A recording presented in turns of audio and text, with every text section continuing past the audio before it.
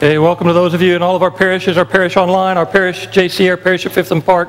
I'm so excited you're here for week two of this kind of three-week mini-series about embracing change, about making solid convictions that should never change, and then allowing God to change the things in our lives that should change. Now, one of the things I want to continue to change is to continue to become a better communicator and figure out ways that I can interact better with, with the decisions that you're making. So if you have a smartphone or you have a tablet uh, in any of our parishes or you're online, I'm going to ask that you'd feel free to begin to interact with the teaching while I'm teaching. And ultimately, my goal is to be able, we're working with our technology folks, ultimately, my goal is to be able to, to interact with you while I'm teaching. And so, but we need you to start to interact. And so you can, you can send me a, a text, hey, Dr. Cox, text Hey Dr. Cox to 69302. Uh, you can tweet either hashtag or at Hey Dr. Cox. And this would be great ways for me to begin to, to learn how to interact with you while I'm, while I'm teaching. So if you do that at any of our parishes, uh, that would be great for me and hopefully we'll add to, to our experience together. Now, week two of this teaching series begins uh, with a question. The question very simply is what do you want? What do you want? Now, I'm not asking this to you as a big, uh, deep uh, philosophical question or, or theological question. I'm asking this in sense what is it that you want? I, I, would argue with you or submit to you that all of us at some point in this last week or some point this week will have something on our mind that this is what I want. Uh, this is what I want. So if you were to ask me, hey, Tim, what do you want? Here's my answer. I want this next Saturday, Saturday, May the 26th, to be a day without rain. It's our daughter's high school graduation. Her graduation party's after graduation. She wants it to be outside. And so I don't want there to be rain. Maybe better yet, I could say, I want my daughter to get what she wants. That's, that's what's on my mind. It's what's on my heart. It's, it's, it's what I want. Now, some of you would say, hey, what I want is something new. I want a new phone. I want a new bike. I want a new car. I want a new house. I want something new. Somebody say, I don't, don't care about anything new. I want something more. I want more work. I want more money. I want more children. I, I want something more. For some of you, it's not something new or something more, it's something less. I want less work. I want less stress. I want less pain. For some of you, it's not new, more, or less. For some of you, it's just something else. Tim, this is what I've got, and I don't care what it is. I don't want this anymore. I want something else. Some of you are much more adamant than that, right? For some of you, it's, I just want. Have you ever just had a case of the just wants? I just want this to be over. I just want him to get his act together. I just want her to fill in the blank. There comes those times when we, we have a case of the just what is it that you want today? And I'd like to talk with you about this because our, our approach to our wants really makes a difference. Have you, have you ever put all of your efforts, energies, and resources into getting exactly what you want only to be disappointed? Maybe you got it, and it didn't deliver for you that thing that you thought it was going to deliver peace, happiness, joy. Have you ever put all your efforts and energies into something and, and got just what you wanted? Or maybe you put all your efforts, energies, and resources into getting what you wanted and you didn't get it. You came close, but you didn't get it. And when you didn't get it, how did you begin to feel? What were the immediate emotions when you came to the realization, oh, I didn't, oh, I was so close, but I didn't get exactly what I wanted? All of us will go through life either getting what we want and finding that it doesn't deliver or not getting what it wants and having to deal with those emotions. So what is it today that you want? I want to invite you to take your Bibles out and find Daniel, the third chapter. The book of Daniel, the third chapter, I want to show you the story of a king who desperately wants something. Daniel chapter 3, if you're watching with us online and you don't have a Bible available to you, you can go to this website called Bible Gateway, just pull it up. It's a great place. I'm going to be reading from today's New International Version. You can find that. Uh, maybe you can just follow along. Whatever Bible you brought with you, Daniel chapter 3, uh, what do you really want? Here's a king who desperately wanted something and he gets it. Almost. And from him and through his reactions, we can kind of understand a little bit more about how to deal with our wants. So, what is it today that you want? Now, here's our working agreement. We're going to read through Daniel chapter 3. I'm going to stop along the way, make some comments, ask some questions, get to a point where I'm going to ask you to make some personal applications, and then try to leave you with a little bit of a challenge from Daniel chapter 3. So, Daniel chapter 3 starts this way King Nebuchadnezzar, and we need to stop at that point. Who's King Nebuchadnezzar? King Nebuchadnezzar is the king of Babylon.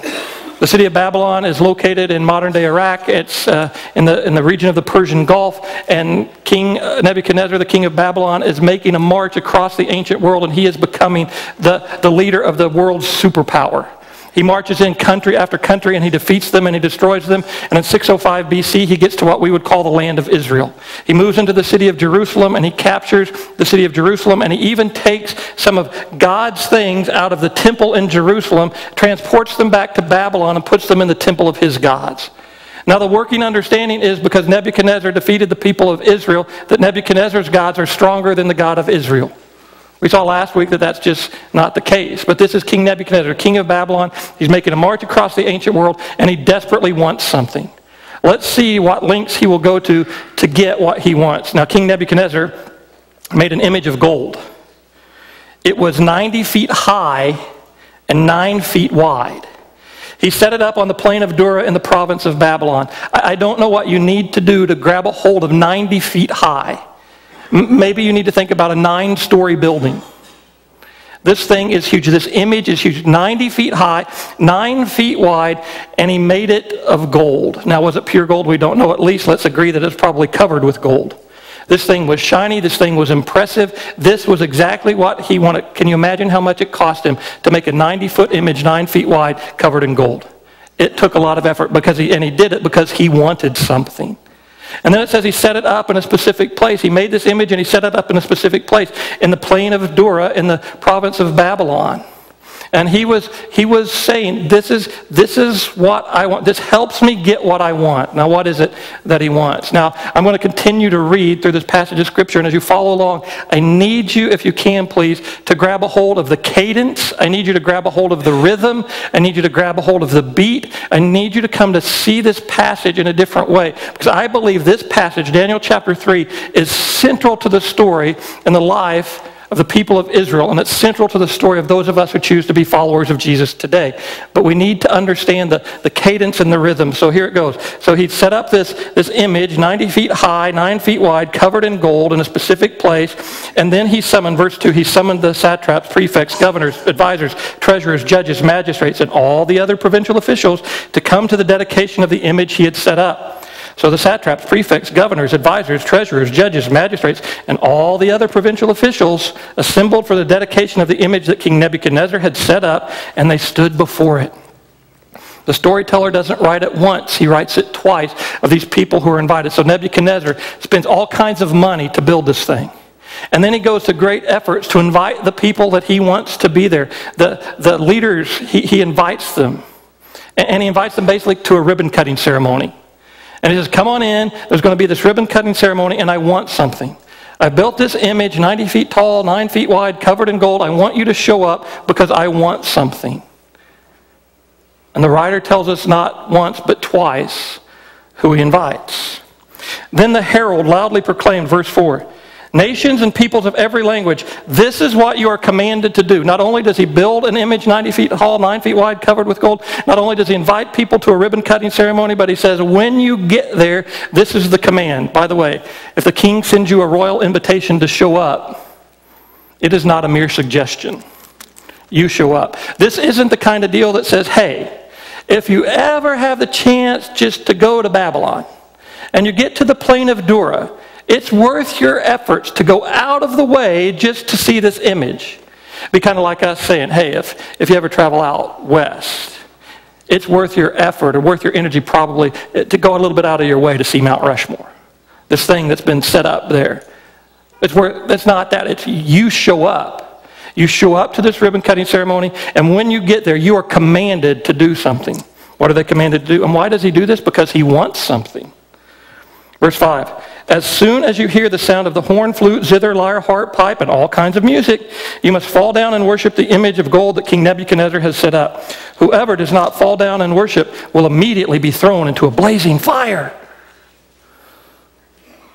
Therefore, as soon as they heard the sound of the horn, flute, zither, lyre, harp, and all kinds of music, all the nations and peoples of every language fell down and worshiped the image of gold that the king, that King Nebuchadnezzar had set up. Again, he doesn't say it once, he says it twice. He tells us with repetition, exact repetition, why. This king wants something. And the storyteller wants you to understand if you still haven't caught the importance of cadence, one fish, two fish, red fish, blue fish, black fish, blue fish, old fish, new fish. This one has a little star. This one has a little car. Say, what a lot of fish there are. Yes, some are red and some are blue, some are old and some are new, some are sad and some are glad, and some are very, very bad. Why are they sad and glad and bad? I do not know. Go ask your dad. Who wrote it? Dr. Seuss. This was our daughter's favorite book when they were growing up. And I would submit to you that Dr. Seuss wrote more for the ear than he did for the eye. Dr. Seuss wrote to annoy parents. because you read it once and your children say, Read it again, Daddy and you read it again the second time, and they say, Read it again, Daddy. And Dr. Seuss wrote for the ear and not for the eye, so your children, after hearing it two times, know if you skip parts. Any other skippers in the room? We have a support group, so uh, it's not a big deal. The storyteller writes for our ear. He wants to capture our attention. And that's why he says repeatedly, as soon as you hear the sound of the horn, the flute, the zither, the lyre, harp, and all kinds of music, what are they supposed to do? Fall down and worship. If you don't fall down and worship this image, you get thrown into a blazing fire. The king wants something, and he goes to great efforts and energies to get it. He spends all kinds of money. He sends out all kinds of invitations. He makes all kinds of commands. And he says, here's the deal. When you hear the music, he got a band together. The band went through rehearsal. The band was prepared. And when the conductor of the band, you know, motioned for the band to begin, they begin to play. And the king wants a unanimous and a simultaneous response from all the people down on their faces worshiping. What the king wants to know is, are there any pockets of rebellion built into my kingdom? Is there anybody that's unwilling to say that I'm really the God? Is there anybody still left that will not do what I tell them to do? And the king wants to condition the people that anytime they hear this band and this music, they fall down and worship. What the king's saying is this when you hear the music, fall down. Because if you remain standing, you'll face the music. And the music you will face is death. Death in a blazing furnace. Why? Because the king wants something. And the king gets what he wants. Almost. Verse 8. At this time, some Chaldeans who were astrologers came forward and denounced the, zoo, the Jews. They said to King Nebuchadnezzar, Now, what I need you to hear at this point as we go through this text is this they're kissing up to the king. That's all they're doing. And that's exactly what the king wants. They said to King Nebuchadnezzar, May the king live forever. Your majesty, you have issued a decree that everyone who hears the sound of the horn, flute, zither, lyre, harp, pipe, and all kinds of music must fall down and worship the image of gold. And whoever does not fall down and worship will be thrown into a blazing furnace. But there are some Jews whom you've set over the affairs of the province of Babylon, Shadrach, Meshach, and Abednego, who pay no attention to you, your majesty. They neither serve your gods nor worship the image of gold that you have set up. The king got what he wanted. Almost. What happens when you get what you want? Almost. Anger. Verse 13. Furious with rage. Ever happened to you? You put effort, energy, resources, time into getting what you want and you get it almost. And you get angry. And some bad things start to happen when you get angry.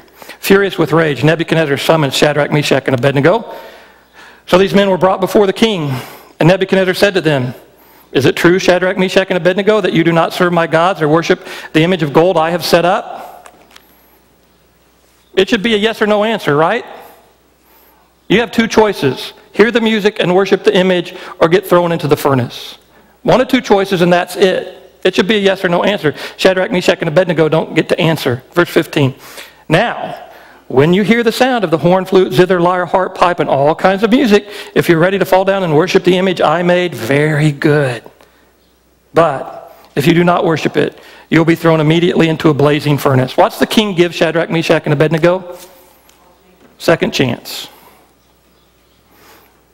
Second chance. What was the king willing to do to get whatever it was he wanted? He was willing to compromise. He had already issued the command hear the music and fall down and worship or thrown into the fiery furnace. And sometimes when you don't get exactly what it is you want, your temptation is to begin to compromise. What, what, do I have to change? What do I have to adjust? I still have to go after this. I have to get what I want, and I'm willing to compromise whatever it is I want to compromise. And the king begins to compromise. Then this next sentence, it's a question really, I think is the central question of this text. And it's really, I think, the central question of the scriptures as a whole. If you do not worship it, you'll be thrown immediately into a blazing furnace. Then, what God will be able to rescue you from my hand? Here's the question, Shadrach, Meshach, and Abednego. What God can rescue you? It's an insult. It's a reminder that, hey, my gods beat up your God. Your God is inferior to my gods. And you're going to stand up to me and not do what I tell you. You just need to know you're going down. So, here's another chance. But if you don't, watch out. Verse 16. By the way, before I go on, what God are you counting on to rescue you today? What God are you counting on to rescue you today? Whatever condition you're in, whatever situation you're in, whatever it is that you want that's really started to make you to compromise because you haven't got it exactly the way you wanted it, what, what God are you counting on to rescue you? Shadrach, Meshach, and Abednego replied to the king, King, uh, we do not need to defend ourselves before you in this matter. If the God we serve is able to deliver us, then he will deliver us from the blazing furnace and from your majesty's hand. But even if he does not, we want you to know, Your Majesty, that we will not serve your gods or worship the image of gold that you have set up. Hey, King, you need to know something about us. We're living differently. And we hear your command, but we don't obey your command because we obey a different command. Hey, King, you need to understand something about us. The God we serve, we believe he's able to deliver us. But whether he does it or not, that doesn't matter. That, whether I get delivered like I want to be delivered or not, that's not the issue. King, here's the issue. We will not serve your gods or worship your image because we serve and worship another God. King, you need to know. We stand in your way of getting what you want, and we're not going to budge. Why? Why? Because Shadrach, Meshach, and Abednego would simply say, King, our people are captive in Babylon for the very reason that we didn't listen to our God. This is what our God said You'll have no other gods before me. That's what our God commanded. King, tucked into our law is the understanding, and we say it several times a day Shema Israel, Adonai Eloheinu, Adonai Echad. Hear, O Israel, the Lord our God is the Lord alone. King, there's one God. And we worship him.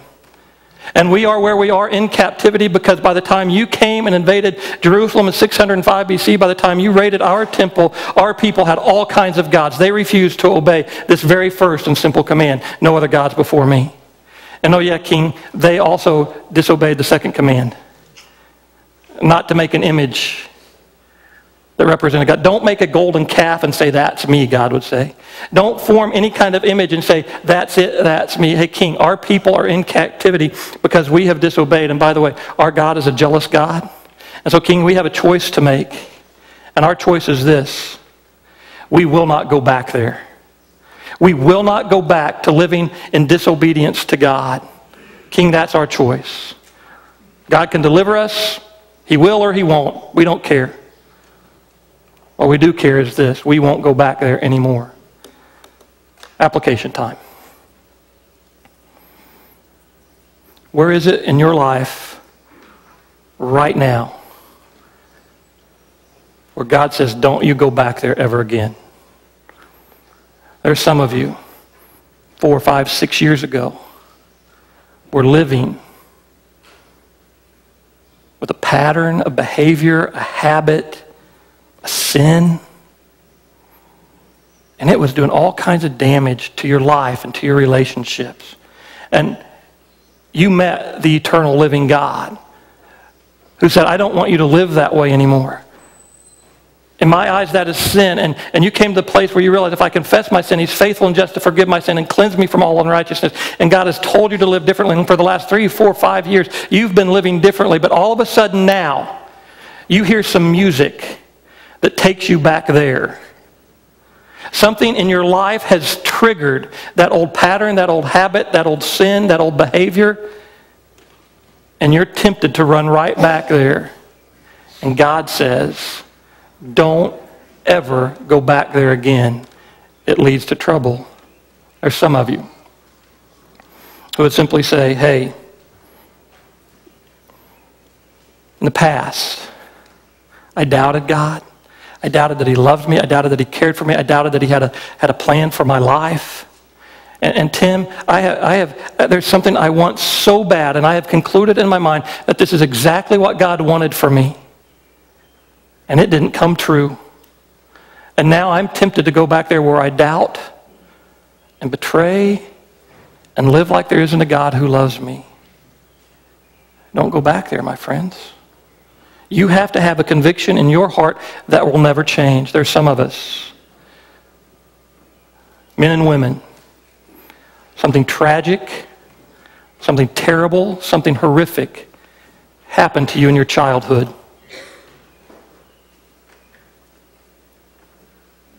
It should never have happened to you. And when it happened, you began to build some walls.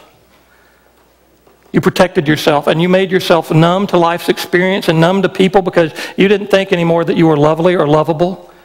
And you couldn't trust anybody. And somewhere along the line, just a few years ago, you met Jesus Christ and he, he came into your life and he's begun to bring healing.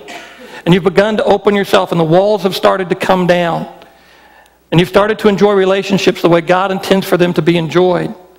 But somewhere something's triggered, some music is playing in your brain, and it has triggered something that's taking you back there, and the walls are starting to come back up, and you're making yourself numb to love and numb to the experiences that God wants you to have. And God would simply say to you, Don't go back there ever again.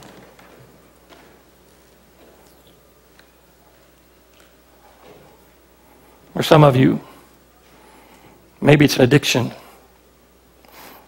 Maybe it's alcohol, drugs, sex, or maybe you have the most tolerable addiction in America greed. And somewhere along the way, God has freed you from that addiction.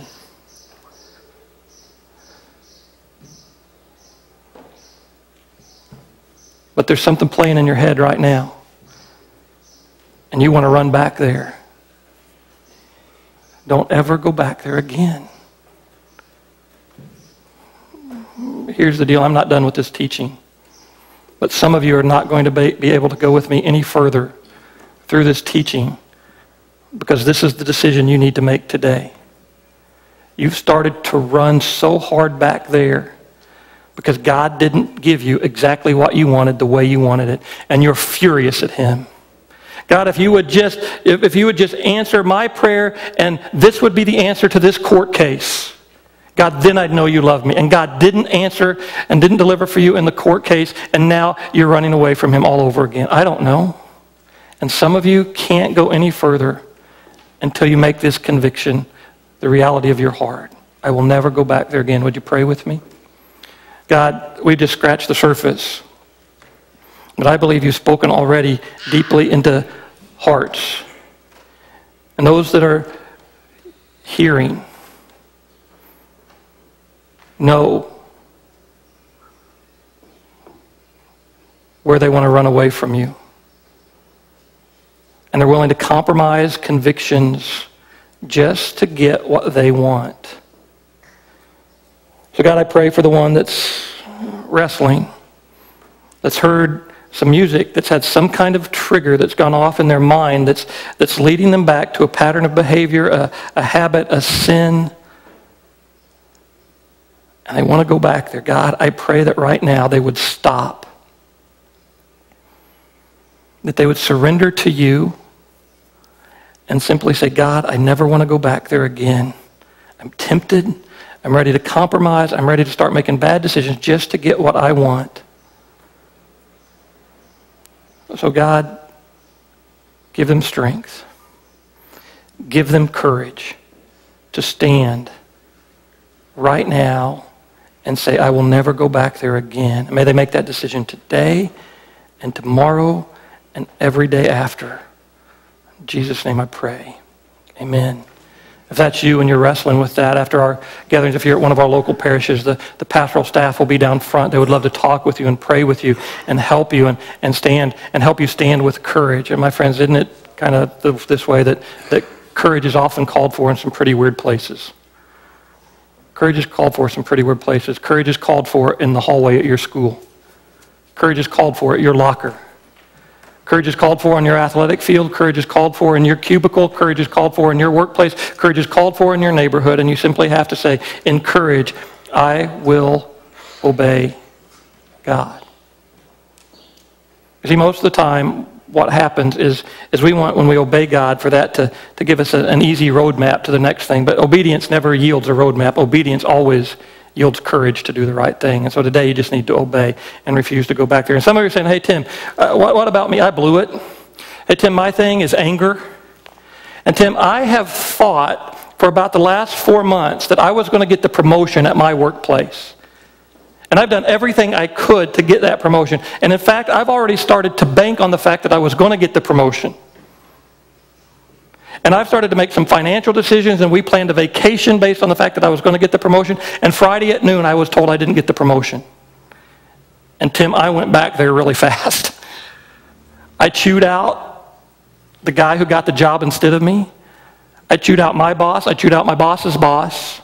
And I'm going to show up at work tomorrow at 8 o'clock. I'm not even sure if I got a job. I was such an idiot. Hey, Tim, my temptation is anger, and my, and my response is furious rage with my tongue. Hey, Tim, I blew it. What do I do? What do you do when you blow it? What do you do when you run back there? And some of you may have run back there as recently as Friday. Some of you may have run back there as recently as last night. What do you do when you blow it? Let's keep going through the text. Verse 19.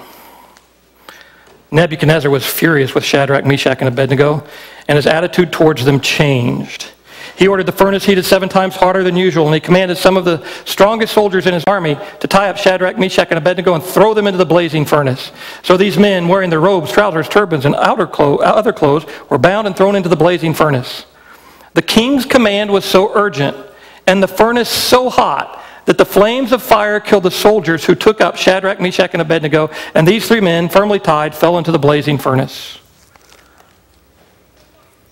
You see what happens when you're willing to go to whatever extremes it takes to get exactly what it is you want, you're willing to compromise, but then you start making really poor decisions. Who does it say that, Shadrach, uh, that the king had tie up Shadrach, Meshach, and Abednego? What kind of soldiers? His strongest soldiers, which I would also interpret as probably his best soldiers. He was willing to compromise his best soldiers who are going to end up dying for the sake of an urgent desire.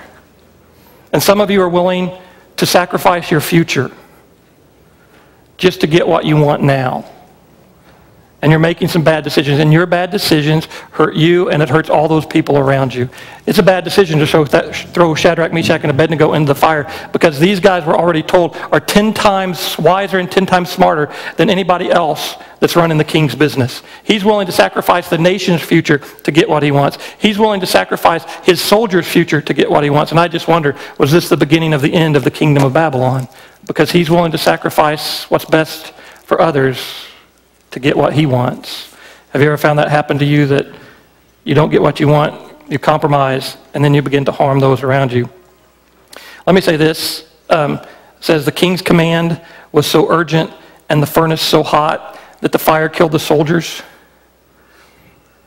I would submit to you when efforts to get what you want, there's not a blazing furnace that you're willing to toss people into.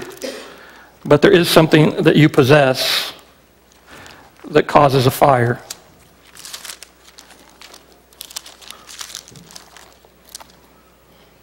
The tongue is a small part of your body, but it makes great boasts. Consider what a great forest is set on fire by such a small spark. Your tongue is a fire a world of evil among the parts of the body. It corrupts the whole person and sets the whole course of one's life on fire. I would submit to you that when we begin to go after whatever it is we want, when we compromise, when we sacrifice others, it's our tongue that gets us into trouble. And you begin to say things that you can't take back. And you begin to say things that kill and destroy those around you, whether it's your children or your coworkers. Be very, very careful. What is it you want? And to what extreme are you willing to go to get it? Nebuchadnezzar leaped to his feet. And he asked his advisors, Weren't there three men that we tied up and threw into the fire? Certainly, Your Majesty, they replied. He said, Look, I see four men walking around in the fire, unbound, unharmed, and the fourth looks like a son of the gods.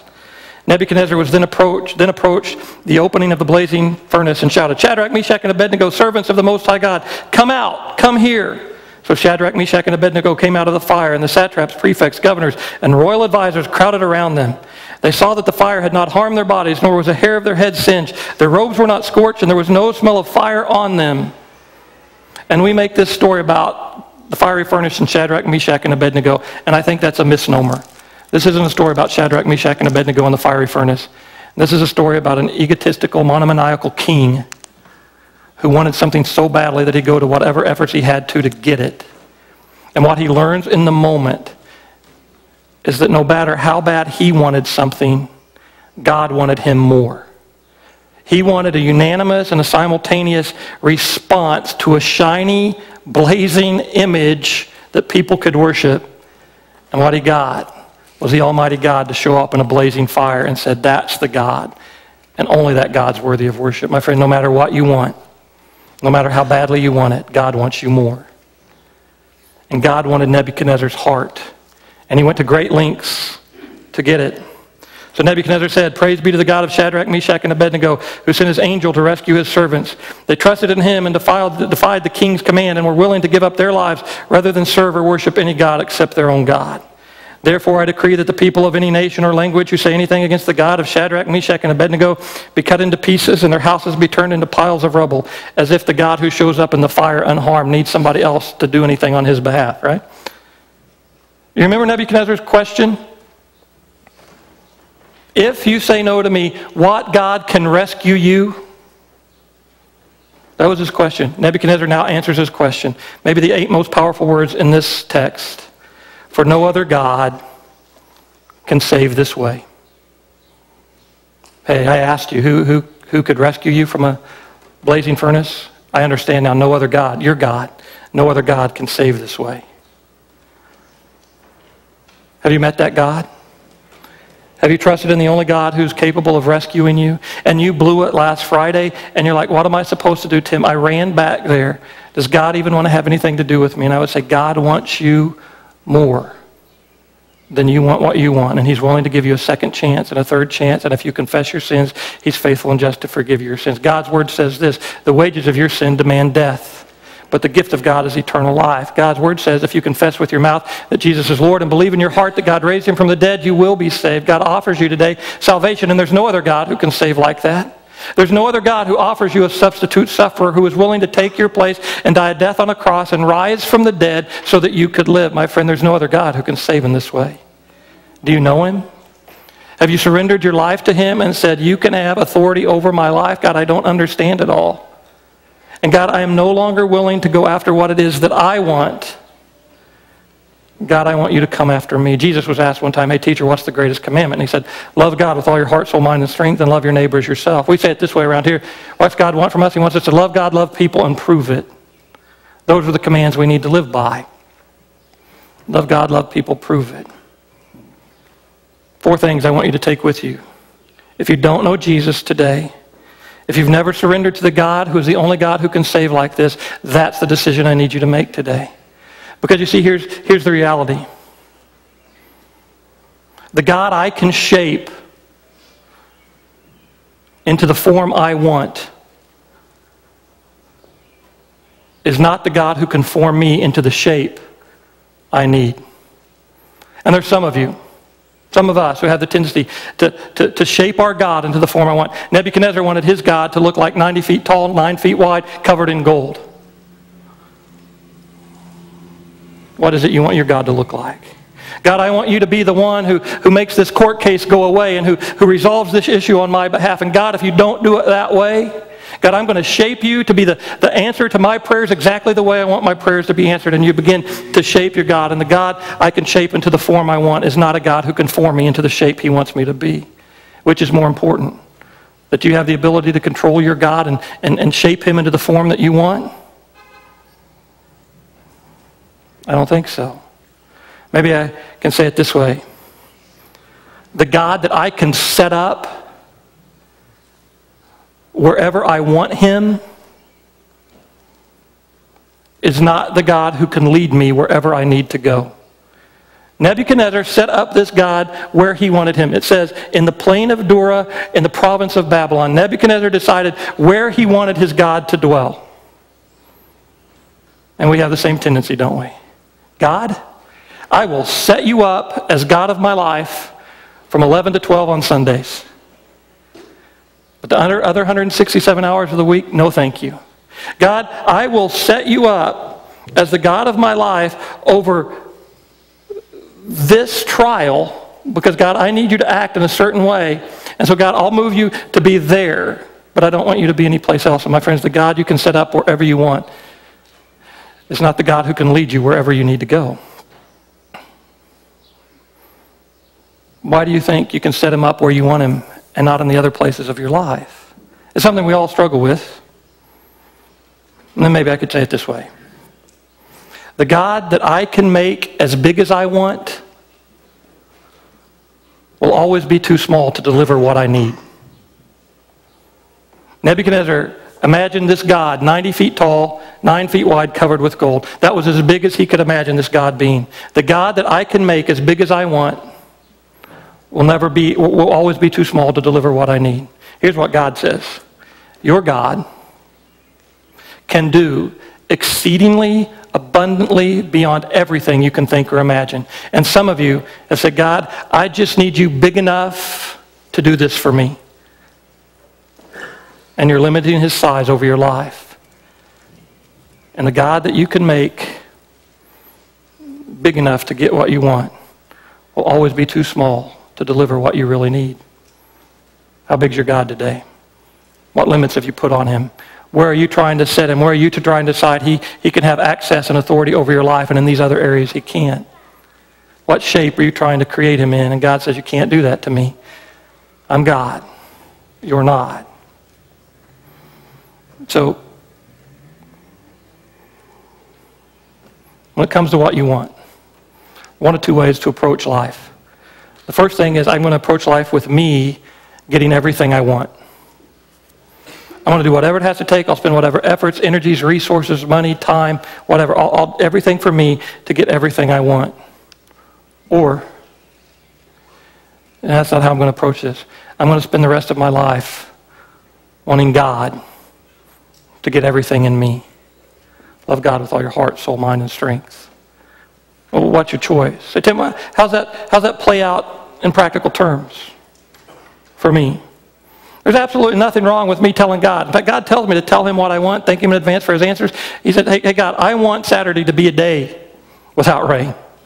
God, I want my daughter to get what she wants. And I think what God would speak into my heart said, Tim, that's great. I know how much you love your daughter. And I know how much you want that day to be without rain. But Tim, is that really inside your control? Don't spend the next five and a half days worrying about that. How about instead, why don't, for the next five and a half days, you focus on whether or not I have everything inside of you that I want? Why not, for the next five and a half days, you continue to be on your knees for your daughter, not that she gets everything that she wants, but that I get everything that I want from her? How about that's a better use to spend your time, Tim? You see, there's a couple of different ways we can view life. Spending it, focusing on, on me getting everything I want or on God getting everything He wants from us? Which is your choice? Almighty God, in this moment, right now, we ask you to forgive us for only making you as big as we want you to be. We ask you to forgive us for setting you up only in those areas of our life where we want you to be present. And God, we ask you to forgive us for creating you in a form that we think is best for us. We acknowledge right now that you are God, and God alone, there is no other. And God, we will no longer bow down to any other gods. We surrender to your authority over our life. Father, right now I, I pray for the one who's never said yes to the gift of Jesus that you offer. Father, you saw our need of forgiveness because of our sin, and our sin deserves death, and you sent Jesus to be our substitute sufferer. God, it's my prayer that the one who doesn't know Jesus yet would cry out, God, come into my life. Jesus, forgive my sins. Father, I pray for those of us that have prayed a prayer like that and have continued to, to just say, it really doesn't matter. We'll, we'll make you however we want to make you. God, forgive us. And in these next days, God, whatever it is that we want, may we want you more. Because, God, you want more of us. God, may we love you with all of our heart, soul, mind, and strength. And then may we go out and love a world that desperately needs to know that you love them too. In Jesus' name I pray. Amen. Uh, here's what I'm going to ask. I'm going to ask whatever parish you're at if you go ahead and stand up with me. Uh, we're going to end today's gathering like we've ended uh, last week, like we're going to end next week. There's going to be a scripture uh, on, the, on the screen, and we're going to read this together and then I'm going to pray a prayer of blessing. If you've made a decision today, if there's anything we can talk with you about, the pastoral staff will be down front at our parishes. If you'd like to, to text us, you can text us again. You can email us. We would love to help you. Uh, if you've made a decision today, don't go out of here without telling somebody else about it. Would you read this passage of Scripture with me? Let's read together. So here's what I want you to do God helping you. Take your everyday, ordinary life, your sleeping, eating, going to work, and walking around life, and place it before God as an offering. Embracing what God does for you is the best thing you can do for Him. Don't become so well adjusted to your culture that you fit into it without even thinking. Instead, fix your attention on God. You will be changed from the inside out. Readily recognize what He wants from you and quickly respond to it. Almighty God, you have spoken with clarity into each of our lives. We have recognized what it is you want from us, and God, right now, before we take one step out of these places of worship, we say we will respond We'll say yes to Jesus. We'll say yes to your authority over our lives. God, whatever it is you've called us to, we'll, we'll, say no to going back there. God, you've spoken. So may we obey. And in that obedience, may we find the courage to obey again an hour from now, a day from now, a week from now, a year from now. And now, my brothers and sisters, as you leave your place of worship, whether that's in a church building, a school building, or in your home as you're looking at a computer screen. May the Lord bless you and keep you. May the Lord make his face shine upon you and be gracious to you. May the Lord turn his face towards you and give you peace. And until we meet again next week, may his favor and grace rest on you. Peace be with you. We'll see you next week.